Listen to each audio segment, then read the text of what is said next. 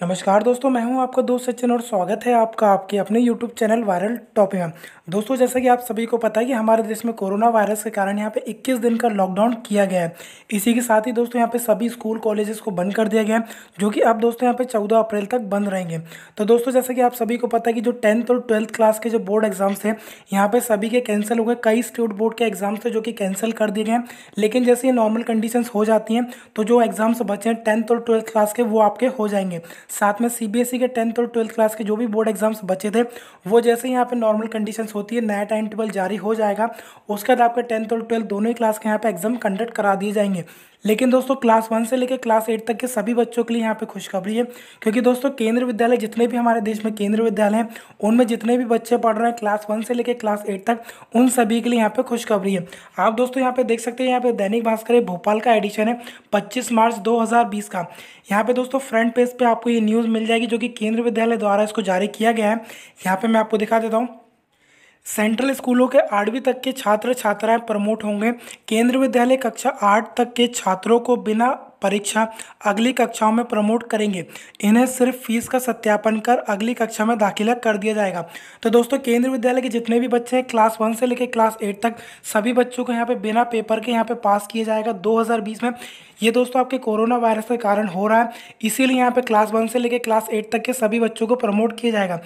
इसी के साथ दोस्तों, कई राज्यों के स्कूलों ने भी ये फैसला लिया है कि उनके स्कूलों में क्लास वन से लेकर क्लास एट तक के बच्चों को यहाँ पे बिना पेपर के प्रमोट किया जाएगा। लेकिन इसकी जानकारी दोस्तों आपके, आपको आपके राज्य और आपके जो भी स्कूल है, वहाँ से आपको जानकारी मिलेगी, जो कि आपको स्कूल प्रोवाइड करा देगा। और दोस्तों आप सभी से एक छोटा सा रिक्वेस्ट कर रहा हूँ, जैसे कि आप सभी को पता है कि हमारे देश में इक्कीस दिनों का यहाँ पर लॉकडाउन किया गया इक्कीस दिनों का यहाँ पर कर्फ्यू लगाया गया क्योंकि हमारे देश में कोरोना वायरस के दोस्तों यहाँ पर बहुत ज़्यादा पेशेंट बढ़ रहे हैं। इसलिए दोस्तों, आप सभी से मैं रिक्वेस्ट कर रहा हूँ कि कृपया करके 21 दिन आप लोग घर में रहें और कोशिश करें कि आप अपने रिलेटिव अपने फैमिली मेंबर्स को भी ये जानकारी प्रोवाइड करें कि 21 दिन घर में रहें ताकि हमारे देश से कोरोना वायरस पूरी तरीके से ख़त्म हो जाए। क्योंकि दोस्तों, अगर अभी हमने इसको कंट्रोल नहीं किया तो हमारे देश की जो हालत है बहुत ज़्यादा ख़राब हो जाएँगे। जैसा कि आप सभी को पता है कि हमारे देश की जो जनसंख्या है, विश्व में दूसरे नंबर पर आती है।